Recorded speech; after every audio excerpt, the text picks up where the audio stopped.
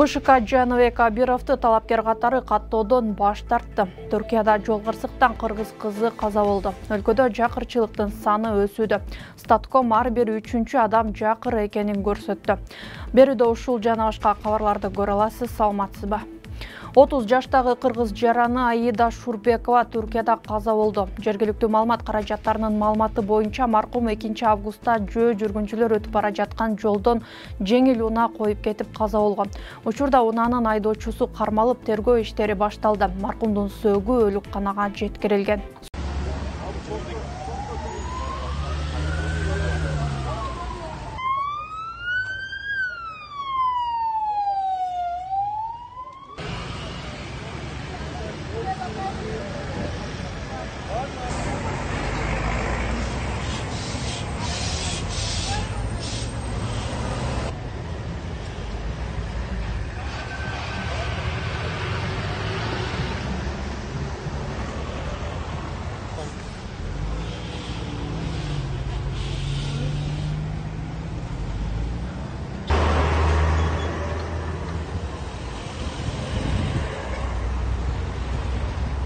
кардарларга интимдик кызмат көрсөтүү менен баңгизат колдонууга ылайыкташтырылган көмүскө жай табылды. Бул тууралуу ички иштер министрлигинен билдиришти.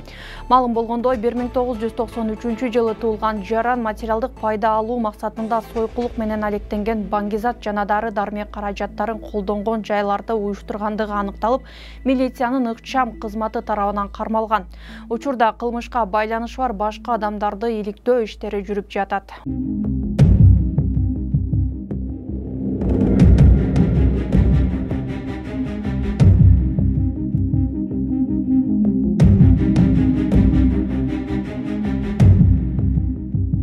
экинчи августта болгон алтымыш жаштагы шектүү мас абалында өзү менен кошо алып жүргөн мылтыгы менен кырк тогуз жаштагы кайнисин жана анын жанындагы жыйырма эки жаштагы баласын атып өзү из жашырган. Шектүүнүн кайниси алган жараатынан улам ошол жерде каза болгон. Анын уулу кызыл кыя шаардык ооруканасына жеткирилген кылмышка шектүү көп узабай жашаган үйүнөн кармалып камакка алынды. Баштапкы маалыматтарга караганда жаңжалга жер талаш себеп болгон жана алар көп жылдан бери урушуп келишкен. Борбордук шайлоо комиссиясы бишкек шаарындагы бир мандаттуу ленин округунан депутаттыкка шайланып кийин мандатын тапшырган жаныбек абировду кайра шайлоого катышуудан четтетти.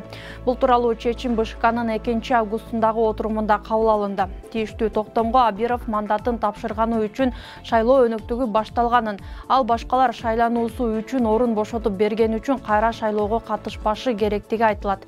Мындан улам анын талапкерликке берген арызы жана документтери кабыл алынган жок. Бшкнын төрайымы нуржан шайлдабекова абиров чечимге каршы сотко даттанса болорун айтты. Буга чейин экс депутат шайлоочулары суранып жатканын айтып шайлоого катышууга арыз берген. Эске салсак жаныбек абиров өзү катышкан мушташтан улам. Март айында мандатын тапшырган. Андан соң аталган округда кайра шайлоо жыйырма сегизинчи майда өтүп бирок ал добуш сатып алууларга байланыштуу жокко чыгарылган. Бшк кайра шайлоону онунчу сентябрга белгилеген. Учурда талапкерлердин саны он алтыга жетти. Сиз арча медиа редакциясынын жаңылыктар чыгарылышын көрүп жатасыз. Биздин youtube каналыбызга катталыңыз. Бизди next tv телеканалынан көрүп жатсаңыз экрандагы qr код аркылуу катталсаңыз болот. Ал үчүн телефонуңуздун камерасын экрандагы белгиге сканерлеп көрсөтүлгөн шилтеме аркылуу катталуу баскычын басыңыз чыгарылышка лайк басып пикир калтырып бөлүшүңүз.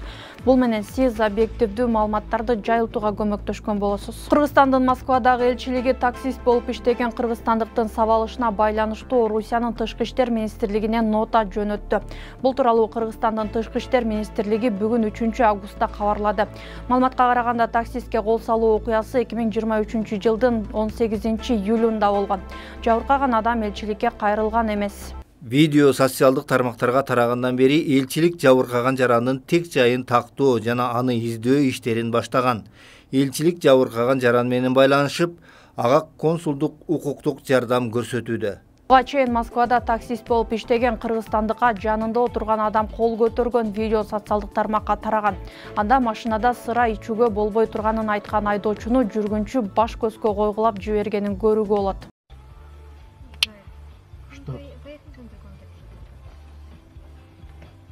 поедем, поедем.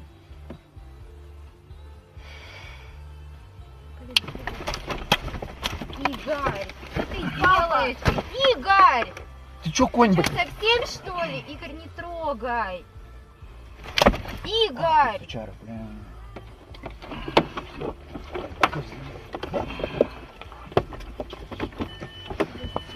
Держи. Держи телефон его. Папа, не надо! Кыргызстанда ар бир үчүнчү адам кедейчиликтин чегинен төмөн жашайт. Бул туурасында улуттук статистика комитетинин эки миң жыйырма экинчи жылга карата чыгарган отчетунда камтылган. Ага ылайык өлкөдө эки миллион эки жүз кырк төрт миң адам өтө жакыр жашап жатканы аныкталган. Бул жалпы калктын отуз үч бүтүн ондон үч пайызын түзөт.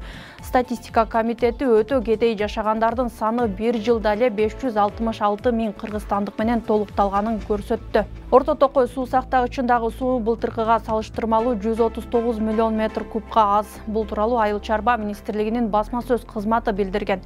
Суу сактагычтагы суунун жоктугу соц тармактарда талкууларды жаратып окурмандар суу жылдан жылга азайып жатканын айтышууда ал арада темиров лайф каналы орто токой суу сактагычынын какшып калганы тууралуу материал жарыялап интернет колдонуучулардын кызуу талкуусун жаратты. Анда суу сактагыч бир айдын ичинде эле солуп калганы айтылып суу каяка кетти деген суроо көтөрүлөт. Турабыз Э, мен буга чейин эле э, июнда келип тартып кеткем июндун он он бештеринде келип тартканда суу деген могу ушул ай- аймакта болчу.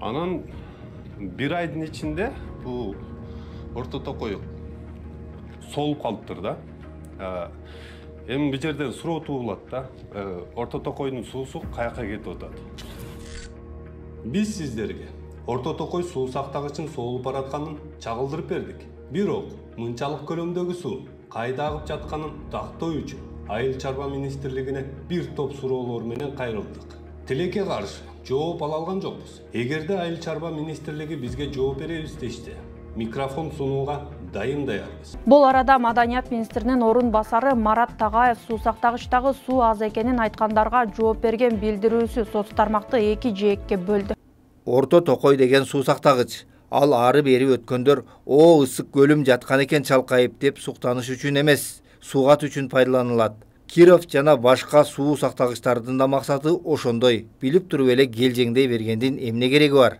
Тагаевдин бул билдирүүсү соц тармактагы нааразы пикирлерди андан бетер көбөйтүүдө бала кезден орто токойду көрүп эле жүрөм ары өтүп бери өткөндө туура көлөмү азайып көбөйүп турат бирок такыр какшып калган мезгилин көрбөптүрмүн орто азияны бүт сугарып салдыңарбы? Азаматсыңар иштермансыңар таң көрүү бүт дайраларды да табаага буруп сугарып салгылачы килосу беш сомдон арыбуз жеп пахтанын жогорку сортун эгип салгылачы жыргап калалы орто токой суу сактагычын мындай абалда көрө элек элем климаттын өзгөрүшүнө ыңгайлашуу процесстерин азыртан колго албаса кийин абдан чоң кыйынчылыктарга дуушар болобуз.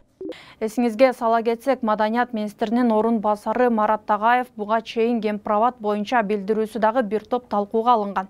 Ал эми бийлик сулууган орто токой суу сактагычы боюнча иликтөөгө жооп бере элек түптүн кең суу айылында сел жүрдү. Нөшөрлөгөн жаандын агымы сегиз үйдү каптап үчөөнүн жертөлөсүнө суу толуп калган.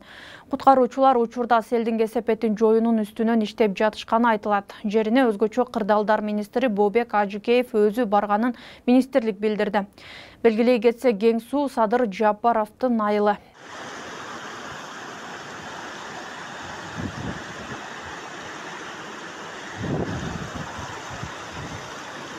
ушул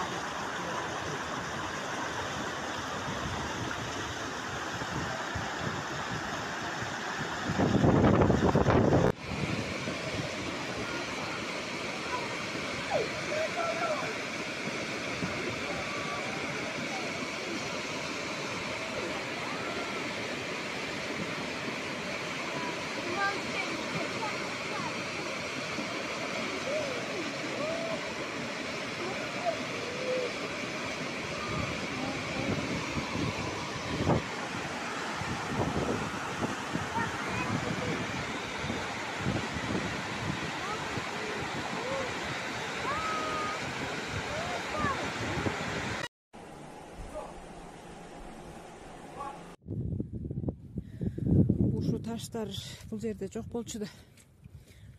Ушул таштардын баарын агызып кетиптир эмне деген таш. Кудайым чоң колдоду баарыбызды.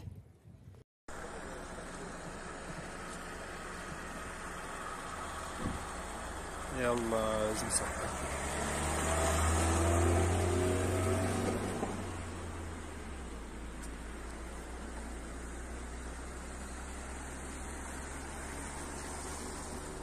мына жақ мен, чұңқыр екен де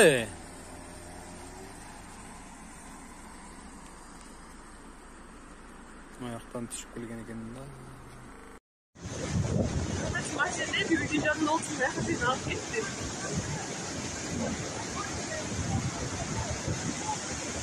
Baba çöp geçsin.